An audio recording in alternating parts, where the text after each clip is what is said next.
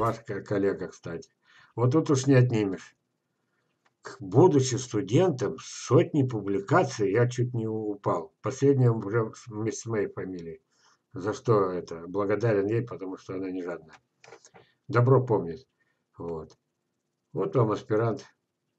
Теперь, значит, мы э, с вами отправили ее. Мы ей подкинули денег на дорогу. Вот. Вы знаете, что такое аспирант. Вот. Это между этим, сказать, что, сказать, что между бедными и нищим, это ну, среднее положение занимает, да, где-то между бедными, ну, это, э, и нищими, но она обидится, я этого не говорил. Короче, мы ей помогли. Нет, она девушка гордая, она денег не просила, мы ее навязали. На ее телефон отправили, хочешь не хочешь. Вот, она сказала, на эти деньги книг накупит. Потому что девушка гордая. Добрый вечер.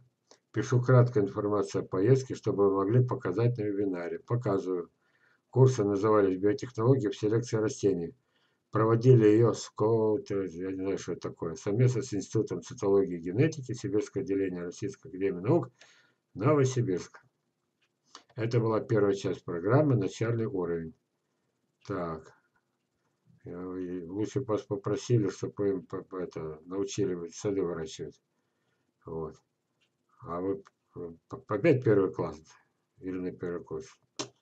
Ну ладно, может пригодится. Будет еще базовый тоже в Новосибирске. И третий уровень, продвинутый в Москве Сколково. По этим Сколково сразу начинайте их учить. Не теряйте время на это. Съехались на эту программу селекционеры со всей стороны. Слушателей было 20 человек. Москва, Петербург, т -т -т -т -т -т -т -т -т. я и Софья Овсянкины. То есть э, Овсянкина это тоже землячка наша, зав. лаборатории микробиологии Красноярского аграрного университета. А теперь Ольга, та, та Ольга, которая, читайте внимательно или слушайте меня. Она, это Овсянкина Золова, тоже ваша ученица. Это, о чем я не знал, ну приятно. У нее в саду ваши саженцы. В душе и в памяти ваши книги. Она одна из нас. Вот. Вот я говорил, что наша, это самое, Елена Савинич, это единственный мостик в науку.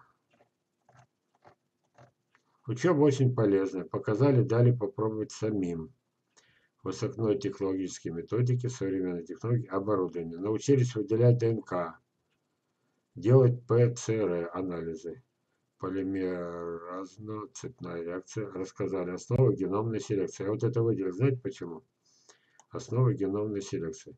Если это ГМО, если это ГМО, ну, я думаю, что вы это э, не станете этим заниматься. Геномное редактирование, основы маркерной селекции. Я это даже не знаю, что это такое. А маркерное, ну понятно, слово маркер. Так, а теперь смотрите. Вот, чуть-чуть отвлекусь. Почему? Есть такой, он себя называет Толик Позигон, Анатолий Позигон. Он живет в Днепропетровске. Он меня ошарашил, знаете чем? Я каждый день слышу, э, иногда включаю украинские эти телеканалы, там эти но чаще все-таки свои лезут в душу. Вот, я слышу злоба такая с двух сторон. Они зарабатывают деньги, они не могут молчать. Знаете, как я, друзья, сравниваю? Вот если бы не надо было бы людям писать вот эти вот книги, да? Сейчас я вам одну покажу, дойду или нет, не знаю. Смотрите, вот эта книга, та же злоба, она 100 тысяч экземпляров, так? Знаю, умею, юному садоводу. А ему нужно книгу издать. 100 тысяч. Это значит, он отлично знает. 100 тысяч. Так. Адресовал юному садоводу. Я бы эту книгу сжег, а ему бы морду набил. Но было это почти 50 лет назад. И вот все вот эти вот э, ветераны Тимирязевки, все это вот отсюда. Не то, что он их учил, а это одно целое. Я почему это говорю? Я говорю, почему? Каждый раз, чтобы э, человек мог заработать серебряники, он вынужден что-то говорить. Мы не можем говорить про Украину хорошее. Не можем. Вот. Сразу уволить чертовой матери. Наших этих, как мы их называем сейчас? Ну, пропагандистов, понятно, без мата если. А у них такие же.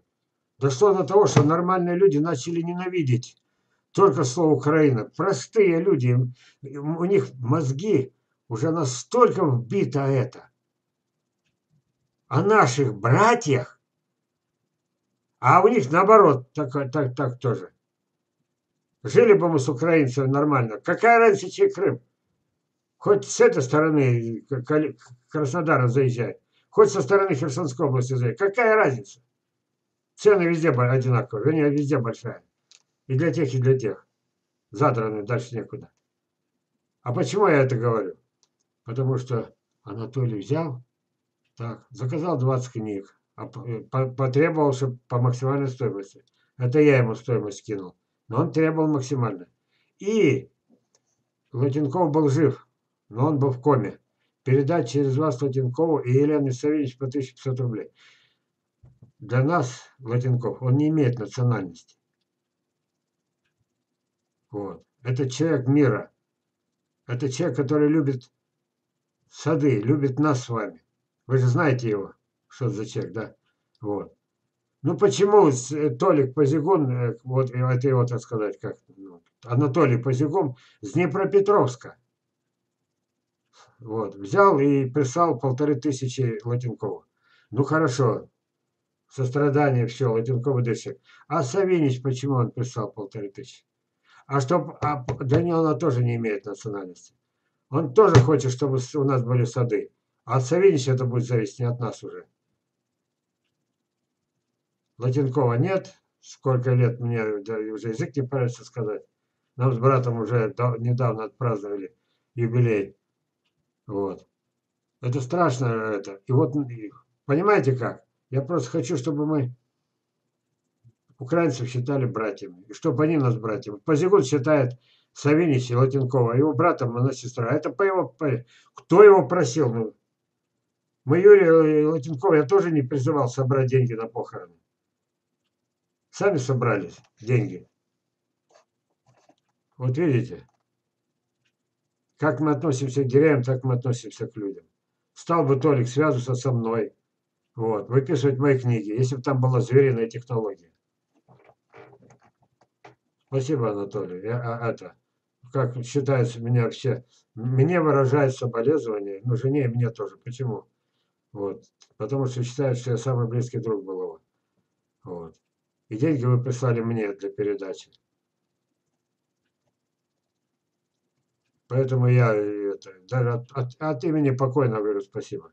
Он заслужил не эти деньги, не сами деньги, они уже на том свете не нужны. Он заслужил это как уважение. Вот видите, я никак не могу успокоиться, друзья. Так, Елена Александровна, вот это отчет от вас. Вот. Так хочется сказать, что мы вас внедрили туда, куда нам доступа нет. Мичурина нет и доступа нет. Так. Это вам вручает, это вам вручает. Это ваша команда. Вот. А вот и вы самое это. Вас можно смело назвать мисс Института цитологии. А, ну вы нет, не назовут, потому что вы не, не кадровые. Я от себя так ехидно, ехидно, извините. По приезде только вы одна из всех ученых, что на фото умели расти деревья. Только вы умели. Понимаете, вся эта команда. Я даже не спрашиваю фамилии. В прошлый раз я хоть Ваулина узнал, когда вы были в Мичуринске. Там, там было симпозиум или как там, курсы по поводу. Я хоть Ваулина узнал лицо. А больше никого. Кстати, Ваулинка и вырастил сад. Супер сад вырастил. Так, я уверен, что никто из них, если еще какой-то тайный, вот тут ваша подруга, да, не знаю, кто из них ваша подруга, вот, она моя ученица, его две, но такую компанию мало. Я уверен, больше никто, а большинство даже про меня не слышали. И вывод мой. После всех трех ступеней обучения, только вы одна и сможете вырастить настоящий сад. Но я про подругу не знал, когда это писал. Не знал. То есть вы две можете. А маловато ли? Вопрос на засыпку. В этом институте есть сад? Есть новинки селекции? А то помните, эти в пробирках э, эти овечек доли выращивали. Вот. Ну и чтобы это, так сказать, не заносились, мы теперь эти крутые, мы теперь по симпозиумам ездим, это в Мичуринск, то этот впереди Сколково. Вот. Я вам советую. Снимайте белый халат и в сад. Работа непочатый край, Елена Александровна. Вот. Сейчас все это надо обосновать, обсчитать. Вот. Впереди у вас диссертация, и может быть это впервые за много лет будет диссертация. Вы знаете, что диссертации делают не для того, чтобы принести пользу. Какая польза? Целая роща березы уходит на бумаге бесконечно. Спиленные, ну не обязательно береза. Целая роща леса, бумаги лежат. Кому нахрен они нужны? А вот ваша диссертация, может быть, первая будет, может быть, первая будет. Они что-то напишут. Контора всегда пишет. Вот так вот, извините, я уже перешел с, с ругани на иронию. Вот.